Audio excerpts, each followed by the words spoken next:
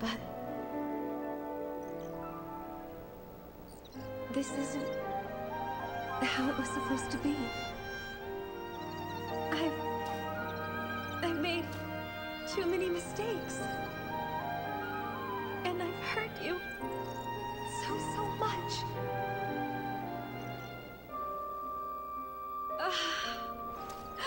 Why did I do what I did?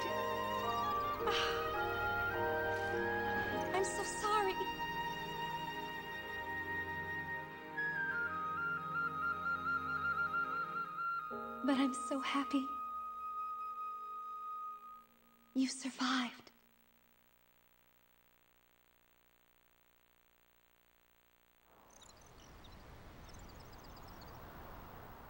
Lucrezia!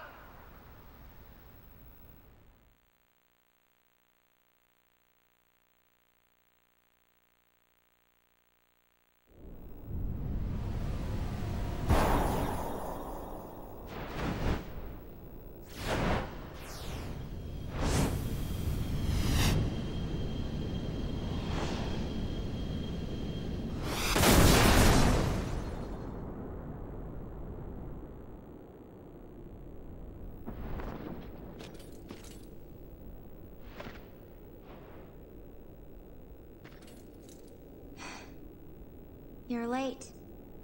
Sorry about that. Not that I mind, though.